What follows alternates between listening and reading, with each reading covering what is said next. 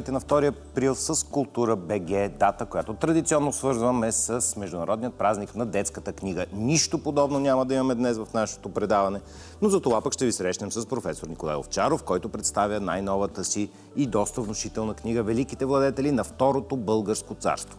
След това при нас ще нахлуе групата Гладалупе Плата от Андалусия, която е, ще има три концерта в София, Пловдив и Велико Търново, което е изобразено на корицата на книгата на професор Овчаров.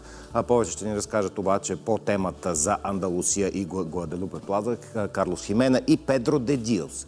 на финала ще ви представим две чудесни нови стихосбирки. Сол на Антонина Георгиева, която взе наградата за дебют на конкурса Христофотев и билет за никъде другаде на Нели Станева. Преди това да се насочим към днешния културен триптих, а именно към Петя Пантева в Русе, Владислав Село в Плодив и Александра Гюзелева в София. Започваме с Петя. Здравейте! Тук тази вечер в регионалната библиотека от 18 часа ще бъде представена новата книга на румънската писателка Андрея Расучано «Непозната форма на живота». Среща с авторката очаквайте утре в Култура БГ. Тази вечер от 18 часа, но в Габрово, с моноспектакъла на Красимир Ранков «Старецът и морето» ще бъде дадено началото на деветото издание на Международния фестивал на монодрамата Соло Акт. Повече за програмата му ще научите до вечера в 18.30 в предаването Линия култура по БНТ 2. Какво още ще може да видите в регионалното предаване за култура? Ще отидем до Плевенския театър, защото там очакват да получат над 3 милиона и половина за подмяна на сценичната техника. Ще отскочим до Търговишкия театър, за да ви представим новото заглавие в репертуара им от Умен по-глупав. Ще ви запознаем и с хипотезата на иконограф Александър Стойков, Църков, според която хитонът на Христос е бил съхраняван в археологическия резерват Ивановските скални църкви и за финал ще отидем в Центъра за психично здраве в Русе, където използват рисуването като арт-терапия. Благодаря ти, Петя, на всички там ни е мястото. Благодаря от сърце. Сега се насочваме към Пловдив и Владислав Севов, от когото ще разберем там обаче какво се случва. Здравейте! И тук се случват интересни неща. Вярно ще бъдем достоен на златна среда на културния триптих. Ще ви поканим на изпълнение на Кирил Манолов, знаменития баритон, който е истинско въплъщение на идеята колко неповторимо изживяване може да бъде наблюдението на оперни изпълнения на живо, независимо дали са спектакли или концерт. В случая той ще представи популярни баритонови арии от опери на Верди, събрани в новия му диск Тито Туто Верди. Диригент ще е Павел Балев. Участват хорът и оркестърът на опера Пловдив, така че има много още условия за неповторимост. В ежевторничния литературен клуб пък Spirit and Spirit. Елена Панайотова, знаете, известен режисьор и експериментатор, ще представи своята книга за практиките на театъра от България до Африка изследване, в което тя е включила и личния си опит от практики с деца в трудни социални групи, знаете и в България, и в Кения. Тя е вдъхновителка на филма на Зорница София Майка. От 19 часа започва срещата с нея, която ще води и на Иванова. В 19 часа пък в драматичен театър Пловдив е вампир от Антон Страшимиров през погледа на режисьора професор Пламен Марков, а в галерия Дяков ни канят на откриването на самостоятелната живописна изложба Нива и коридори на Андрей Янев. Благодаря ти, скъпи Влади, за подробния отчет на пловдивската културна среда. Отиваме при Александра Гюзелева, която, както разбираме, очаква високи гости, нали така, Шани? А, да, аз се намирам в Софийската градска художествена галерия. Тук събитието, за което ще говорим е едно, но пък какво? Очаквам среща с Георги Господинов. Поводът е утрешното представяне на книги на Иван Теофилов, което ще бъде тук от 18.30. Георги Господинов и Иван Теофилов, много свързани през годините и като поети, и като лични приятели. Миналата година те представиха своята съвместна книга. Тук раз, книга Разговори за радостта и поезията, но утрешните заглавия са антология на българския символизъм и детелина на хаоса, стихосбирка на Иван Теофилов. Разбира се, каним всички тук утре в 18.30 пък среща ни с Георги Господинов е повод да поговорим за самия него, за това, което предстои. А то е много интересно, свързано е с 60-то юбилейно Венецианско биенале. Има много какво да се говори с него. Няма спор, ще чакаме с интерес. Благодаря ти, Шани. Ние сега сме тук в студиото. Оставаме, както си казахме в началото, с професор Николай Овчаров. Поводът за нашата среща е тази, това внушително издание. Великите владетели на Второто българско царство се нарича То. Добре дошъл, професоре. Добър ден. Така, как? Защото, да кажем, минахме Първото българско царство, защо Второто и в неговото величие, този царев град Търнов, който виждаме на корицата. Да, това е едно наистина великолепно издание. Вече какво съм написал, това ще кажат, разбира се, читателите, но все пак да похваля Сиела, която го издава с а, а, повече от 200 цветни иллюстрации. А, айде ще започна от иллюстрациите, защото Добре. това е много интересно, тъй като когато се направи тая книга, аз се пиша повече от 20 години, реално погледнато. От 2000 година некъде започнаха така поете първи занимания с тези въпроси. Много статии, много книги съм написал, но това вече е обобщението. Та когато тръгнахме да иллюстрираме, с Захари Карабашлиев си говорихме, нали, главния редактор на Сиел. Аз исках първо да сложим и съвременни е, изображения. Сега има доста художници, Васил Горанов и други, които и той е на корицата, както виждам. Да. Но Захари беше категоричен. Не, само с автентично. Викам, Захари, може би няма да успеем да намерим толкова много.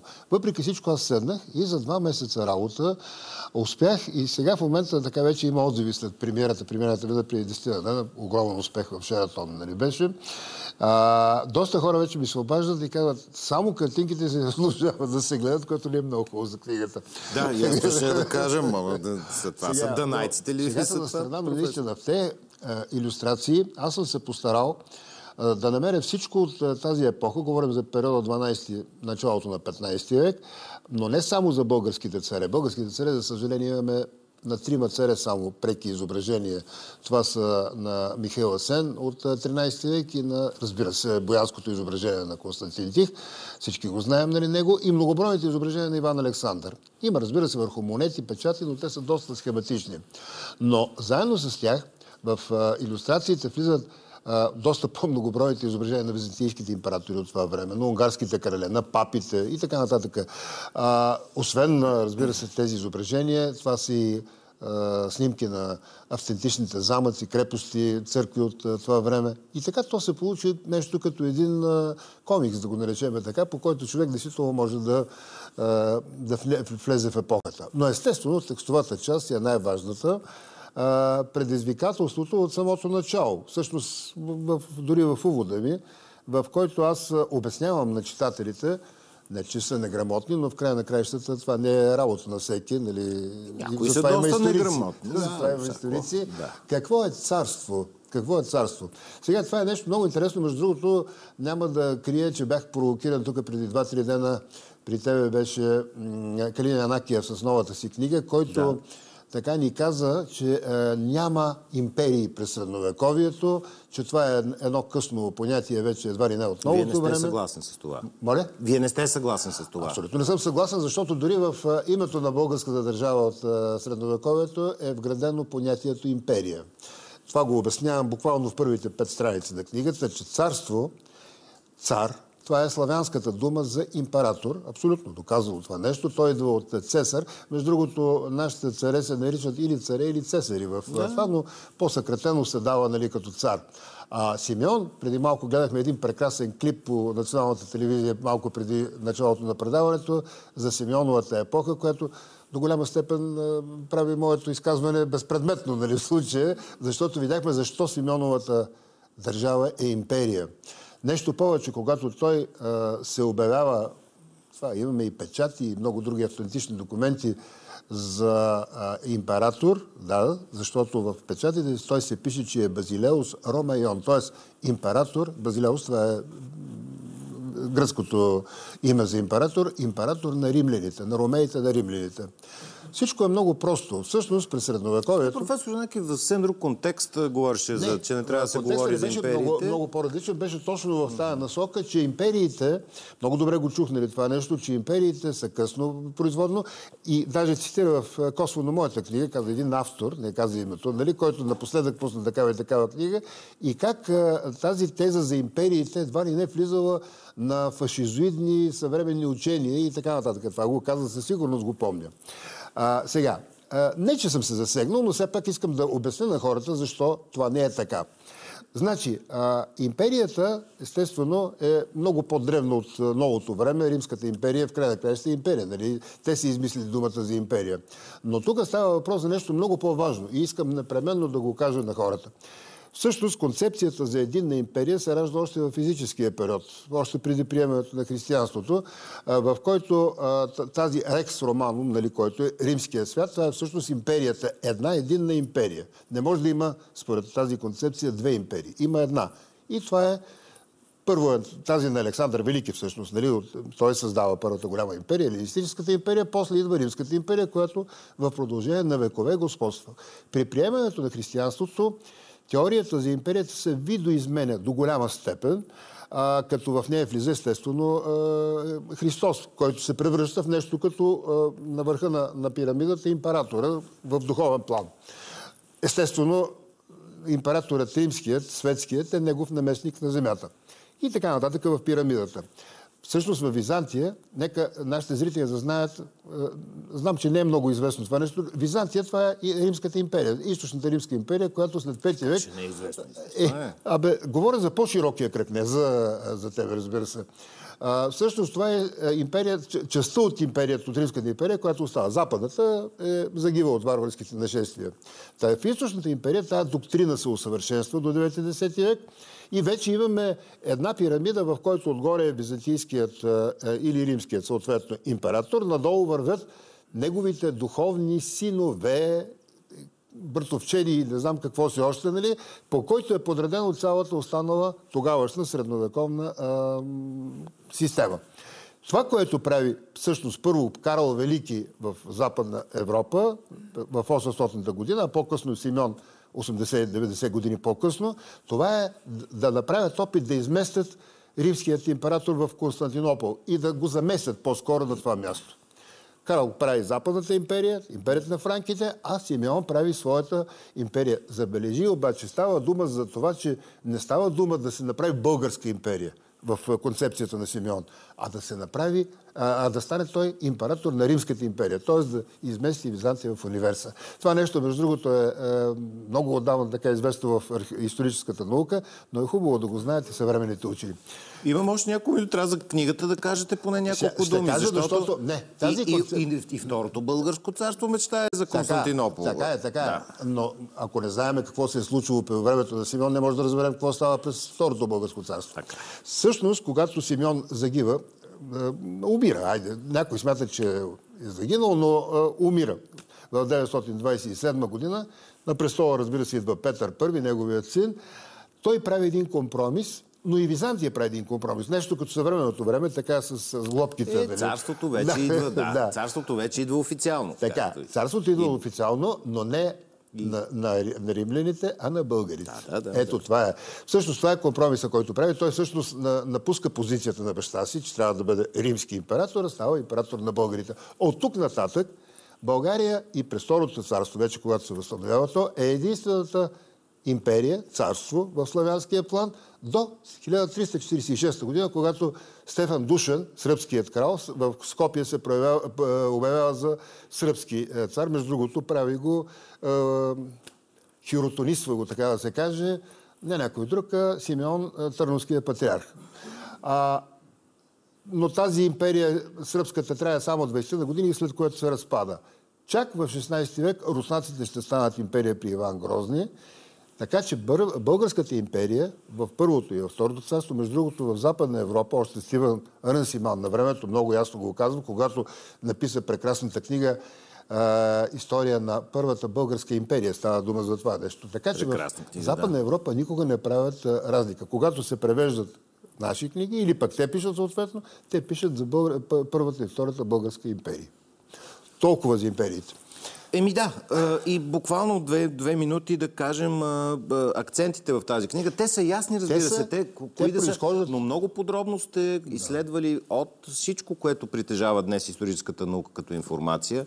Много детайлно сте направили точно, анализ точно на тези така, владетели. началото казах, че всъщност 20 и няколко години работя това нещо. От 2000 година ми излезе първата книга за Калоян.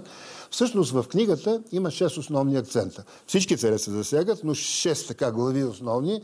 Това са за Калоян, разбира се, за Иван Асев II, за Константин Асен, Константин Тих, който е един от неправданите цари. Аз имам няколко неправдани царе, които според мен не са е, обаче Точно така, той Ивайло до тук ми е дошло. Аз съм за Константина. да, а малко хора знаят, че Константин е човека, който първо управлява 20 години, второ економически стабилизира страната. Това е всъщност първото време, първия период, в който имаме истинско българско монетно обращение, само с български монети. А колко тежки набези през това време. Точно така. Това е... Освен това, той гони Михаил VIII Палеолог буквално до Константинопол и взема доста територии. Това нещо съм го обяснил вътре.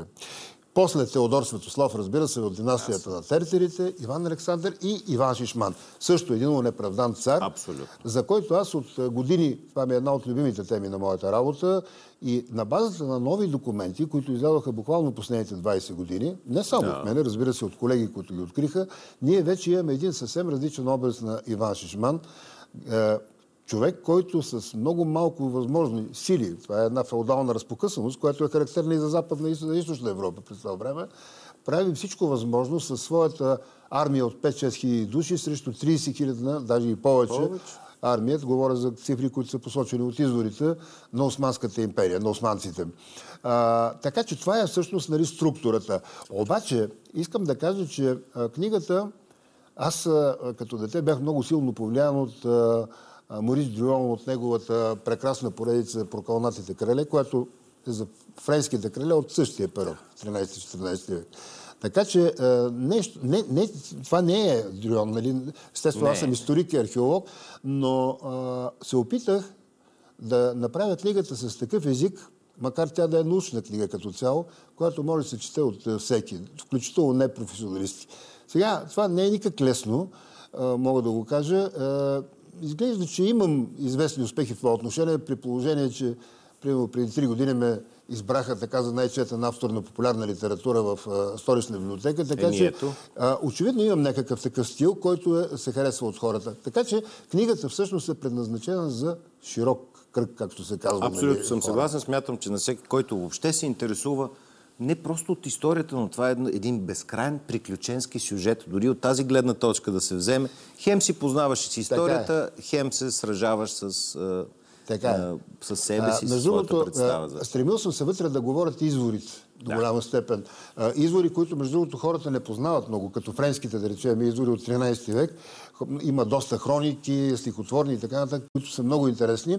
И другия акцент, който така, горе-долу само аз мога го направя, защото съм и археолог, това е а, вкарването на много археологически данни от последните години. Да. да и за крепости, и за манастири, надписи, е, неизвестни или слабо известни. Еми, това е допълването да. на голямата историческа картина. Благодаря, професоре, на добър час на книгата и среща с много нови читатели. Много съм благодаря.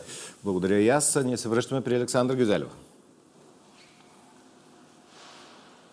Димия, за мен е много приятно да бъдем заедно с Георги Господинов тук в Софийската градска художествена галерия. Здравейте! Здравейте! Още веднъж да кажа повода за нашата среща утре от 18.30 тук представяне на две книги на Иван Теофилов, чийто рожден ден беше съвсем наскоро. Да. А, радост и празник, това са две думи, които много често вие употребявате, говорейки за Иван Теофилов. И така, мисля, че бяхте написали във Фейсбук, канейки зрителите да. ни и читателите във Фейсбук.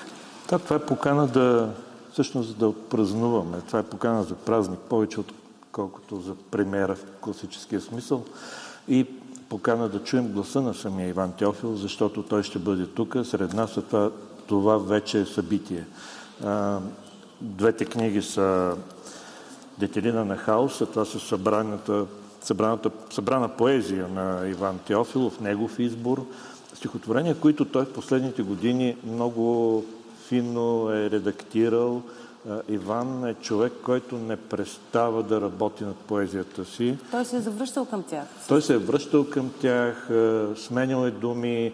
Имаме една кореспонденция от 2021 година, която сме говорили върху, върху някои думи и тогава някъде се роди идеята, че те могат да се, да се превърнат в книга. И това е за отбелязване и за възхищение на да, да си сред думите си на, на тази възраст, да работиш, да си с жива памет и с Да продължава да търси. И да търсиш. Това е, това е послание. И нещо друго, което ми казахте а, в предварителния разговор, че за първи път всъщност тези стихотворения излизат заедно в, една, в едно книжно да, тяло. Това, това са стихотворения, които част от тях познаваме от различни публикации, от различни книги, но те за първи път са събрани. Това е избора на автора. Това е много важен жест винаги. Самото заглавие Дителина на хаос е всъщност едно цяло стихотворение, което се казва Животът. А, така че това е изборът на Иван Теофилов и това са стихотворения дори извън тези, които обикновено познаваме и цитираме. В тази кореспонденция, за която споменахте, търсеше ли Иван Теофилов вашите съвети Размениха ли се ролите през годините? Ами, това е, това е много хубаво приятелство. Всъщност е много важно за мен. Разбира се, аз повече слушам Иван Теофилов и той винаги, винаги ми е писал няколко думи, които са ме спасявали в моменти, в които съм имал, съм имал нужда от това. Иван е много щедър човек. Иван много окоръжава младите.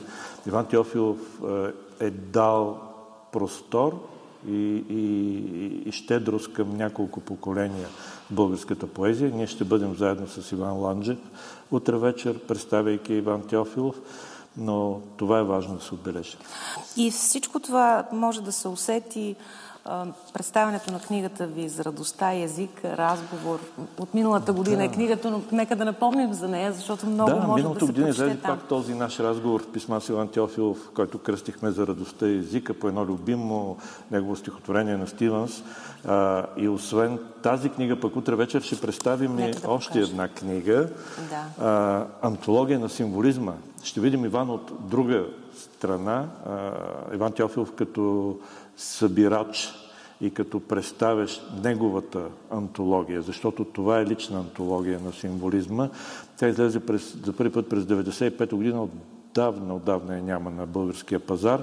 И много интересна антология, защото представя един период, който е като цветен въздух, както казва Иван Тялфил в предговора си, периода на символизма, общо взето необичан и неглижиран в така по време на социализма. Но Иван Теофилов прави нещо много интересно в тази антология. Той разширява кръга на символистите и вътре ще видите фигури, които сме свикнали да, да не причисляваме към символизма, но сега те стоят тъкмо на мястото си там.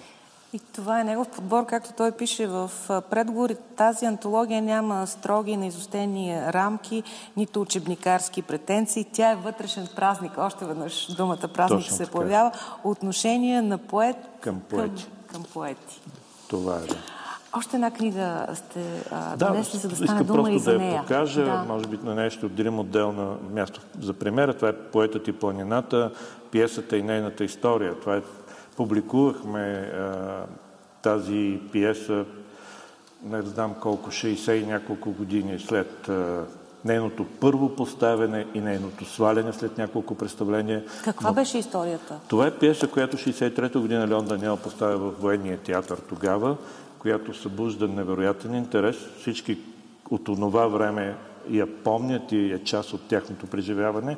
И разбира се, след шестото или седмото представление, пиесата е свалена, авторите и са извикани където трябва и започва един много труден период всъщност за Иван Теофилов.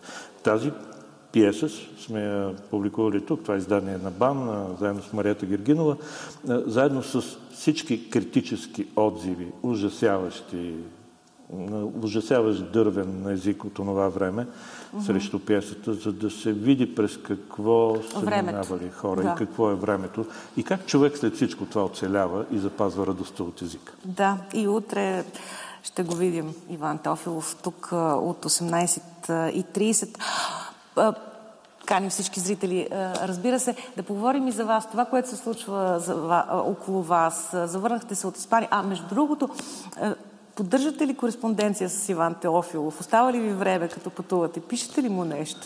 Да, да, пишем си така непрекъснато. То не е свързано с пътувания, с някакви вътрешни неща или лични неща, с някакви моменти, в които човек има нужда да, да усети подкрепа от близък човек. Да сподели. А, какво беше събитието в а, Испания? А, в Испания представиха за първи път книгата с разкази, която излезе току-що, така че бяхме в няколко... в, в Мадрид и в Саламанка, в едни много, много добри книжарници и това. Много срещи, много хора. Преди това бяхте в Лондон една година по-късно, след връчването на Букър, заедно с Анджела Родел. Да, всъщност наближава да, да стане една година. Вече да. по това време бяхме в краткия списък с Анджела и така абсолютно се вълнувахме какво ще се случи нататък. Ами, Знаете ли кое е най-хубавото? Сега, като бяхме, за първи път се отвори български щан, благодарение на Българския културен институт, на Светла Дионисиева, на, на Министерство на културата. И това, в това, разбира се, има значение вземането на Букър. Тоест всички подпомогнаха този щант. На откриването на щанда говорихме заедно с Анжел Родел. Имаше невероятно много хора книжарниците, в които правихме нашите събития, в най-старата лондонска книжарница Хачард. Колко красиво! А, беше абсолютно разпродадена. И това е нещо, което е радостно, разбира се, за нас и за книгите, но в същото време се усеща как вратите се отварят или убийството на тези издатели. Това е най-хубавото, които винаги са се отнасяли леко чуждите издатели. Български автор, да, непозната литература. Непозната държава. Как да Непозната държава, да. Това е факт. Сега е, вече е друго и това ще се усети. Много се радвам. Нещо, което предстои е, след на 17, както разбрах, заминавате в Венеция на 20 официалното откриване на венецианското юбилейно 60-то издание на Биеналето. Едно събитие е свързано с вас и това за мен ми се струва изключително събитие извън българския павилион, извън българското участие.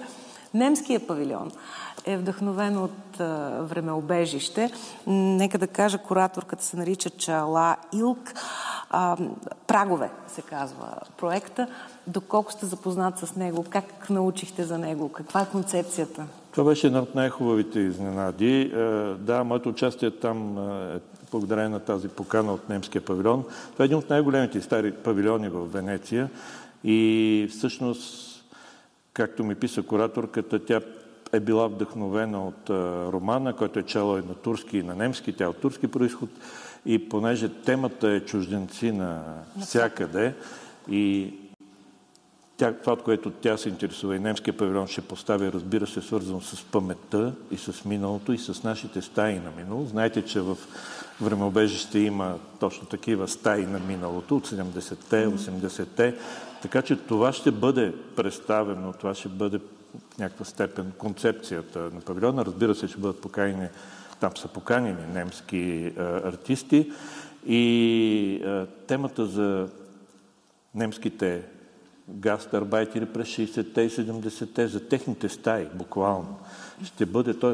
това преплитане на лична памет и на, на, на публична памет ще бъде важно. Това всекидневие на тези хора през 70-те в Германия, които, впрочем, тяхната история е много близка до нашата история, защото ти си чужденец, отивайки там, дори като, като работник.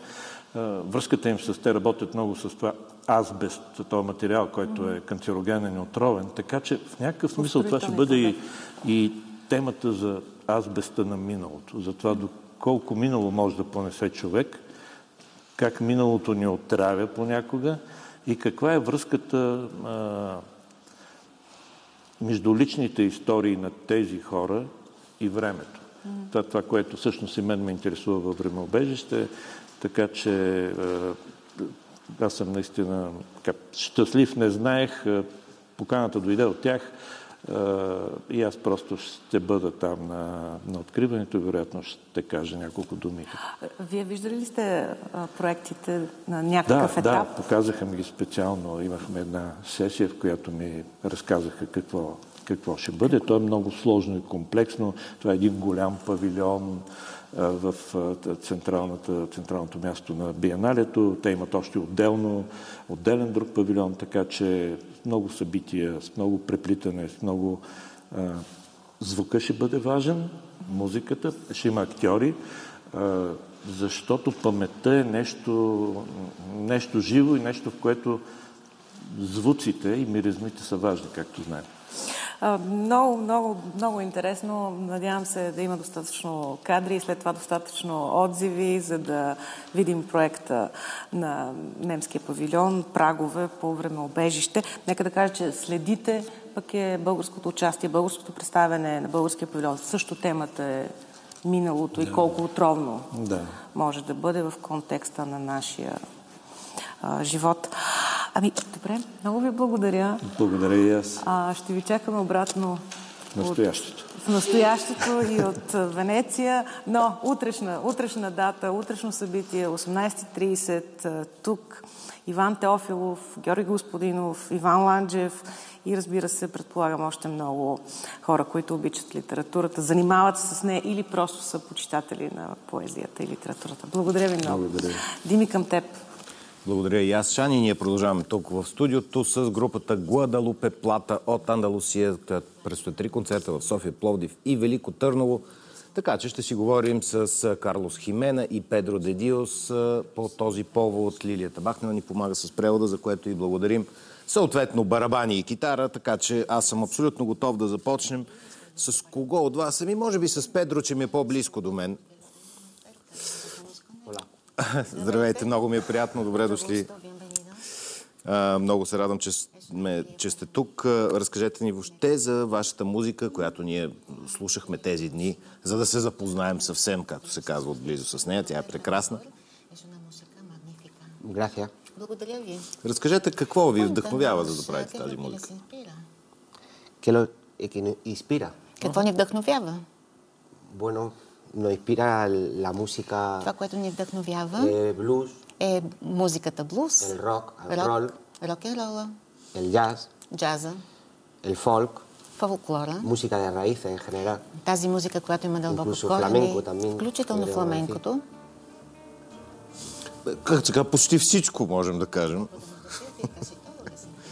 Bueno, sí, Да. Карлос, допълнете Педро в неговите размисли за вдъхновението. Sí, bueno, sí es cierto que, que realmente la, la música de raíz, eh, А, вярно, че тази музика, която има дълбоки корени от различните региони, не само от Испания, но и от целия свят. Всяка музика има своята характеристика. И именно тази характеристика е тази, която ни вдъхновява. Можем да говорим за фламенко, можем да говорим за делта а, за цялата тази музика, която идва от корените. Вие говорите за жанрове, de а като теми от живота какво ви вдъхновява? Como de tema de la, de la qué? De la vida. De la vida. Pues tema de la vida, pues está... Като теми от живота, Sí, están la- los temas típicos, ¿no? De, Това са de de los типичните cantes, de теми. de los- de los blues, de, de, de todo а, eso. за които Se се пее в de блуз, amor, говори се за любов, trabajo, за работа, за разочарование, pena, alegría, за мъка, за радост, за всички тези неща, които ги виждаме в живота. Вие сте също така и художник, Педро. Bueno, sí, ocasionalmente. Да, случайност. Не, защо вие, доколкото разбрах, вие правите всички визуални неща, свързани с групата, обложките. Las cubiertas. Sí, las portadas de los discos Да, обложките на дисковете, на албумите y algún trabajillo más que hago. и някои допълнителни работи, които правя. Точно така. Аз съм си подготвил домашно, всичко съм си прочел. Знам и за допълнителните неща, които правите. Те са също много интересни. А, по, по някакъв начин, как, как стигнахте до България всъщност? Я разкажете това. Pues llegamos hace... Ahora dices, ¿no? Сега ли, Llegamos, сега ли как пристигнахме Да, в да. България? llegamos ayer. Как се разбрахте така за тези три ¿Y концерта? cómo, cómo se ha planeado este concierto, estos conciertos en Bulgaria? Pues a través de un contacto que tenemos aquí, А, дойдохме до България чрез един контакт, който имаме в а, България. que conocimos hace unos años en un Преди festival en Alemania а, години се запознахме в а, Германия на един фестивал. y se interesó por nuestra А, música той се заинтересува от нашата музика y el año pasado и pues миналата година nos, ни се обади y nos dijo que, pues, que nos propuso esta и ни предложи да направим едно турне. Какво очаквате, Карлос, от срещата с публиката в България сега? encuentros, ah, con el público. Eh, bueno, no sé, eh, la verdad que la- el primer año, el año pasado que estuvimos ya por aquí de Истината е, че миналата година, когато бяхме тук на нашето турне, в България eh, бяхме с Аларма pues Пунджаз. fue, la verdad que fue una cosa muy, И наистина беше нещо много любопитно, защото се срещнахме с една култура. От една страна сме много близки, но в същото време има и разлики, които малко ни шокираха. Но в край на кращата винаги говорим за това, че хората мислят по един и същи начин, като нас, по един и същи начин тук, в Пекин, в България, в Сърбия, в Македония, в todas в Съединените щати. Ние сме еднакви. Абсолютно, разбира се. Напълно съм съгласен. Няма, в това няма никакъв спор. Ами, кажете кога са концертите, да подскажем на нашите зрители. Para decirlos a nuestros, ah, telespectadores. Los conciertos, Ca- Carlos creo que tiene la, la Sí. lista. Карлос има списъка на Карлос, вие сте. концертите. Извинявам се, Педро. Да. Eh, bueno, el 5 de abril tocamos aquí en Sofía. На 5 април ще, ще свирим тук в El София. 6 de abril tocamos На en 6 Veliko април Tronovo. ще свирим във Велико Търново, Y el 7 de abril en а на Plovdiv. 7 април в Пловдив. Luego tenemos también, continuamos el, След това продължаваме por Macedonia del турнето в Северна Македония, por Serbia y Сърбия Croacia. Pero ya и no, no Хрватска. porque Но no вече не знам кои са точно градове, точно повече, че имената са и много трудни за Ами, произнасяне. те, те надали ще ни гледат в Харватия в момента, така че беше важно за българските концерти. Така че всичко е наред. На, на добър час. Да, важни са българските градове. На добър час от сърце на вашето турне в страната. Благодаря. Продължаваме напред към Пловдив. Румен Манолов отбелязва своята 60-та годишнина. Ето как изглежда любимия му град, претворен в картините.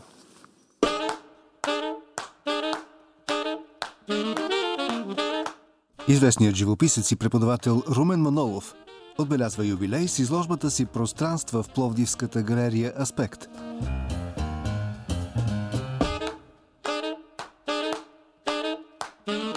Галерия Аспект, която е точно сърцето на този хилядолетен град, именно в където може да се усети най-добре духа на отминалите епохи, най-вече на епохата от началото на миналото столетие, великолепната главна, недалече Капана, нашата чудесна улица с чинарите Иван Вазов и затова специално избрах точно тук в галерия Аспект да представя тази юбилейна изложба, а да сме живи здрави има време и за ретроспективна.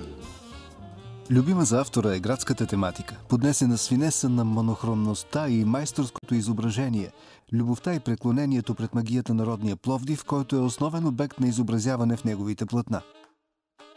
Де-факто пространствата през тези вече 33 години професионален път, има предвид от моето завършване живопис в Великотърновския университет през 1991 година. Първоначално аз много дълго работех в областта на абстрактните форми, абстрактно изкуство и така много хора ме познаваха. Даже като студент съм правил и перформанси, N-форми, но в един момент към мене се отвори любовта към градската среда, към именно не само Плодив, а и други градове в България и в извън страната. И може би това е духът, както казва при откриването на една моя изложба, голямата българска художничка Надя Кутева. За, за Румен може да кажем, че е градски художник, което мен лично много ми харесва, тъй като редовно обичам да се разхождам из града, да дишам въздуха, Изкуствоведът Светла Москова пише за Румен Манолов. Много бързо той улови собствения си пулс, усети магията на монохромните гами, от които неочаквано се раждат контрастни хармонии, графично изявени форми, играта на гоненица между слънцето и сянката, тайнството на градския пейзаж. Аз съм работил и с много ярки тонове, с различна цветова гама, но в момента нещо, което и моят професор покойния професор Исандър Трези, винаги ни е казал като студенти, учете се от испанската живопис, от големите имена като Сурбаран, Рибера и най-вече един Веласкис. Ако погледнем Веласкис в неговата сребриста гама, която аз се опитвам да а, пресъздавам в моите произведения, човек е работил някъде с 10-12 цвята, но вижте какви а, цветове е създал. А, магията на живописта е в полутона. Значи, яркият тон си има своята красота, но пък се сещаме за думите на покойния Жоро Слона, с който имах удоволствието не да се познавам и, и както и други известни поети, които винаги са идвали на моите сложби, той казваше, няма лоши цветове, има лошо подредба на цветовете. Затова как ще бъде предаден, дали с ярки тонови или пък с една сребриста, по-монохронна гама, няма никакво значение въпросът да бъде искрен.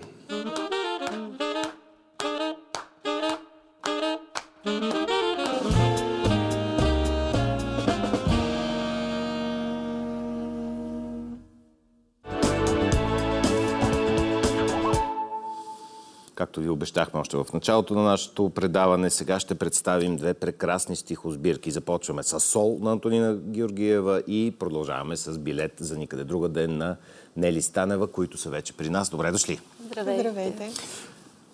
Много ще ви хваля днес и двете. Това са две прекрасни стихосбирки. Антонина, вие получихте и награда за дебют, ако, ако се не лъжа. Да, съвсем скоро. Съвсем скоро. Нова учредена награда на Христо Фотев в Бургас. Еми, нова учредена, но много хубава награда. Хеля пък кръстена на Христо Фотев. Какво по-добре от това? А не ли пък вие сега си видяхте книгата, да. стана ми много мило, че не сте си я виждали. Да, аз знам какво съдържа, но естествено усещането да я видиш е много, много вълнуващо. Вложена е много работа в тази книга, не само от моя страна, а от оформление и издателството се постара. Тук виждаме почерка на Дамянов, да. как се е разгърнал. Да. А, но и двете книги са изключително добре и художествено представени, но и съдържателно. Де да знам. Айде да, с, с вас, Антонина, да започнем, защото вие днеска имате и представяне на книгата, да. както разбрах. Аз не знаех, но признавам си аз, като сбъркам, че не знаех, но днеска имате представяне. А, и да кажем така, цялата, цялото вдъхновение, защото това са много сериозни, смея да кажа, размисли, топли думи от Георг Господинов, който преди малко беше в пряка линия в нашето предаване. Ами, това всъщност е много дълго писана книга. Стихотворенията вътре са а, събрани от последните 7-8 години и са така от, от различни периоди в живота ми. Аз съм много, много бавен писач по принцип. Имам дори периоди, в които изобщо не съм писала. С рисуването сте по-бърза. С рисуването да. съм по-бърза, да. И а, не мога да кажа, че а, пиша от малка, нали това. Но мога друго клише да ви кажа. Еми, от какво е вдъхновено. Те да? клишетата работят, така че... Да, абсолютно. А те с причина са клишета, така че... Да. А, всъщност, първите неща, които написах, бяха в следствие на едно любовно разочарование, което според мен всеки, който е писал, е минал през, всеки, който е живял, тая мисля, тема. Че, да, да, няма как. А, и така, а, тогава, сега ми е забавно, като говоря за това, обаче тогава не ми беше много смешно, честно казано. И а, тогава осъзнах, че нещата не са само черни и само бели, че нещо а, такова може всъщност да бъде и, освен минус, може да бъде и плюс. И плюсът е, че се получи една такава книга. И всъщност най-големия плюс е, че се запознах с много хора, които се занимават с литература, които ми станаха приятели. Така че аз съм много благодарна, че това нещо се случи. То вижте какво и оптимиста, като види кръстовете на гробищата, знаете нали, колко много плюсове вика. Но разбира се, това е точно така. И те клишетата, за които вие споменавате с любовта, с разочарованията, нели и при вас има много любов в, книгата. Но иначе пък за какво да пише човек? За буркани с кисело зеле ли? То не е хубаво. Не знам. Мислите ли? Не. Не, не, не е хубаво. Идея. по какво... Просто идея. Идея, а, която но... ще позволете ми да отхвърля. Да, много да. Бързо. Аз също. Да. А, беше леко шега. Знам, знам, разбраха, да, аз просто я развивам. Има ам, а, Жил Дело се казвал ам, не е нужно да се занимаваш с политика, когато се занимаваш с литература, защото тогава и двете предполагат тотално присъствие в живота. Или едното, или другото. При вас така ли е? Да, да, аз присъствам чрез писането. Ам, Добре, ако но... не пишех, щях да правя нещо друго. Политика, може би, не знам. Стига, бе, гледайте, защо така изглеждате ми толкова интелигентен човек? Как, за какво ви е тази работа? Да, не, Разкажете ни за вашите швейцарски предели, които обитавате. Ам, ам, аз съм от поколението, което замина да учи в чужбина и си остана там. Ам, не беше планирано, но така се получи. Ам, Хем неуредена държава Швейцария, какво търси? Но нищо, да, извинявайте, че ви да, прекъсна. ам, м, нямам оплаквания от Швейцария като държава. Имам оплаквания от... да. Ам, това нещо, което се получава при доста иммигранти, може би в един момент а, имах чувство, че не принадлежа никъде. Никъде, ни, ни тук, ни там. Ам, и дълго време си казвах, о, аз страдам просто от носталгия. Ам, докато в един момент разбрах, че аз не страдам от носталгия, аз съм надарена с носталгия. Аз.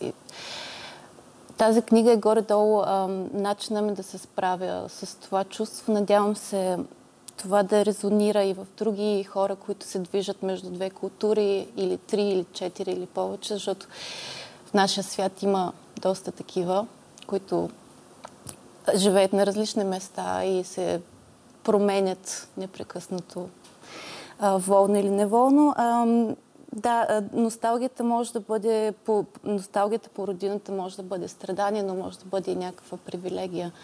Например, да се прибера в България и да ми стане мило, когато чуя как някакви хора се карат за парко място. да, да Точно речем. така. И се гонят Просто- красиво с тояги, Да, и за да се, се и ударят се по главата. псуват много а, Еми, то е романтично. звучно и красиво. Аз обичам език, езика. Тоест, мисля, че нямаше да, да ми липсва България, ако не беше език.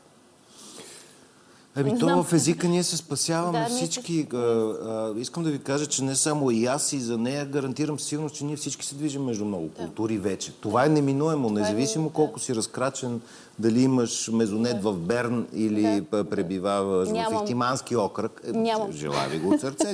Не ще имате спокойно. Това е, това е един-два тиража на книгата и е готова работа. Да, да, на това съм, затова съм тук.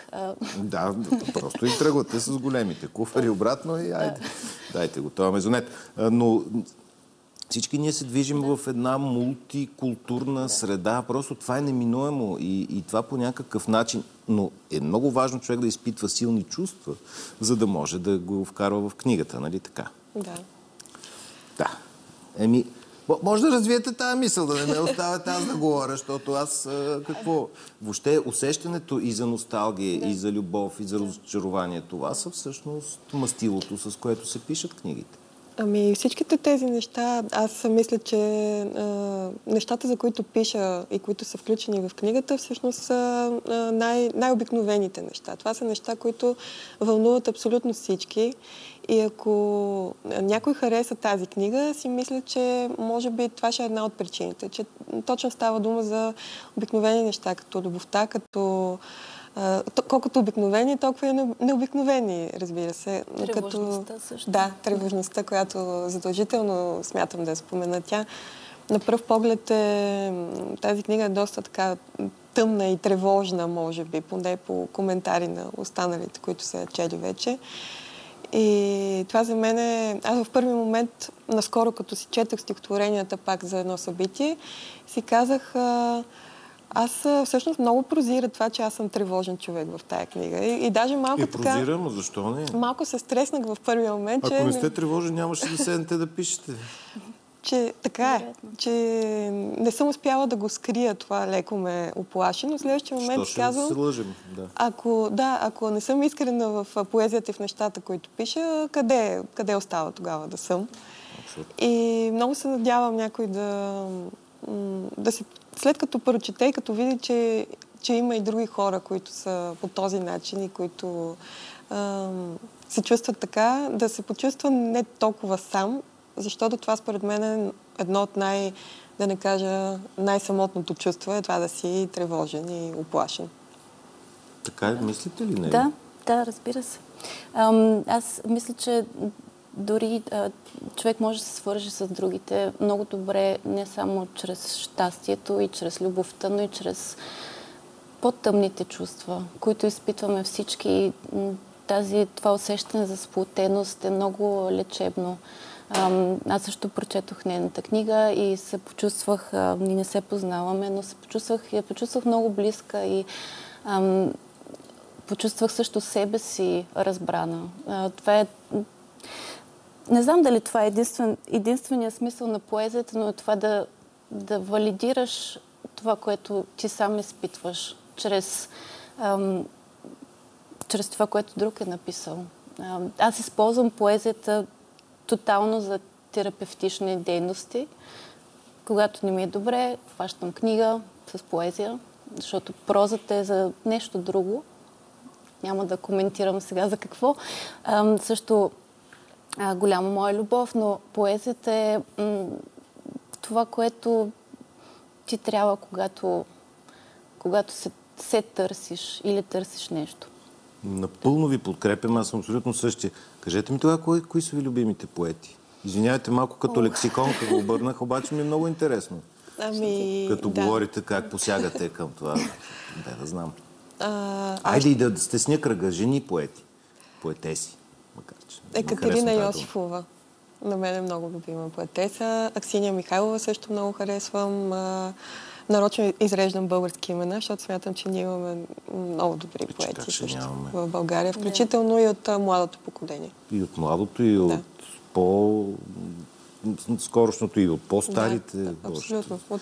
Нация Смиряна Башева е щастлива нация. Но от вие? Не. Ам, от женските имена бих искал да спомена Петя Хайнрих. А, изключително интересен поет, а, абсолютно нетрадиционен за България.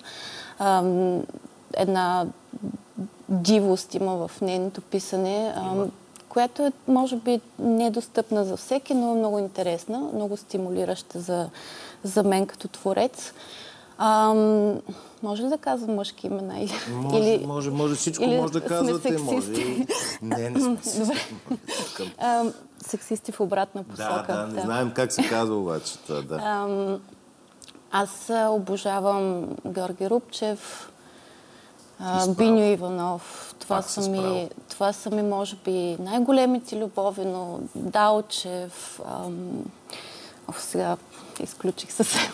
И, Засипваше дрезгавина очите, а, веждите му вече. Павлов, Иван Теофилов, за който се говори Как сега, не? който... а, Иван Методиев, също друг Иван. Абе, добре, да уверих се, спомена- четете да, поезия. Да, да. споменете, разбира се. Го... Харесвам и, аз харесвам много различни неща. Много харесах книгата на Антонина. а, съвсем друг, писан, друг тип писане от Напълно моето, но, а, но това е страшно освежаващо за, за мен също като Все, всичко талантливо, както са вашите две книги, е направо впечатляващо. Поздравление от сърце. Пъл- Отиваме към техническата информация за представянето на книгата днес, от колко часа и Днес къде. от 7 часа в бар Кикс на Цар Шишман. Чудесно. Ще я представим заедно с редактора Георги Господинов, с а, Валентин Тишев, а, Анна Лазарова, Христо Мухтанов, Теодора Тотева. Голяма компания Плътна сме. група, Да. плътна група, дано да побере всички желаящи. Той, на Жор Господинов му излезе работа тия дни. Ето вас, на утре Иван Теофилов. А, не е? Ам, моята премиера е на, в четвъртък в а, 7 часа в бар On the Rocks на улица 6 септември. 6 септември, да. А, ще участва редакторът ми също, Цочо Бояджиев и няколко човека от издателство. Скрибен се, още не знам кой ще е. там, Не Ема съм- вие сега идвате, то Аз, нормално, аз чакайте да став- се ориентирате, да ви спиете но 4-5 ба, кафета. а, бар on the Rocks предлага също чудесна крафт бира, това е което знам. е, така че заповядайте. Ще се радвам да, да има хора. Това ми дава някаква морална подкрепа. Rocks, мисля, че и не само крафт бира има, но не съм сигурен, защото живея на 6 Така ли? септември. Да, Чудесно. няма проблем, да. На, на добър час от сърце, Желая и на Благодаря. двете книги. Те заслужават наистина много-много Благодаря читатели, което е най-важното. И за хвалбите също. Ами да, те са от сърце. Аз иначе ще си мълча и ще кимам мъдро. Благодаря на добър час. Продължаваме напред, пак в женска тематика. Написана са много топли думи. Жената е като земята, вселената и природата. Тя дава и тя отнема, вдъхновява и наказва. Това казва художникът Христо Бузуков за новата си изложба, подредена в Пловдивската галерия Артистика.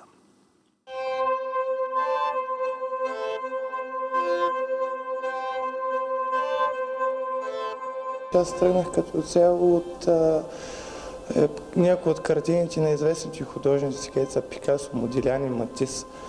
И тръгнах от някои от тяхните движения. Тук, тук на тази синята, това е от на Матис, синята серия, където са трети сини картини, където са движения. Тук ползва второто, ако не се бъркам. Та, тръгнах с от тази гледна точка на, на изкуство. Имаше фетиша и всички други работи, свързани с жената, смисъл върват към, към комплекта, ако не се бъркам към жената. Иначе залагам на, на изкуството, където изкуството е ползвах движенията и композицията на някои от големите автори картините с помощта на различни модели, в зависимост, нали, горе-долу, някои модели са по-големи или други са по- по- по- по- по-малки. Те направихте 18 картини са и 4, 4 рисунки, където са от един скисник. Миналия месец бях до Холандия на разходка да разгледам някои нещата. С взех един скицик и направихме някои скици като цяло за, за ця, ця, цялото нещо с, с жените. Иначе жената е най-красивото нещо на света. Поне аз така си мисля. Иначе това всичко, което върви комплект към него, е, аз си мисля, че е бонус. Първата картина беше тази лилавата, която е тя беше първата картина от лятото, където тя първо тръгнах с един модел с изследване на, на рисунката, където направих лятото изложбата с рисунките. И след това това се получи от изследването на рисунката и след това течение на, на цялото нещо се получиха те изведените картини, където мисля, че добре стоят като, като движение и, и усещане и чувствителност като цяло. Мисля, че са лично за мен са добре. предаване. Утре продължаваме. Имаме си рубрика Великите филми. Представяме Нощите на Кабирия, но това всичко. Утре останете с новините на БНТ.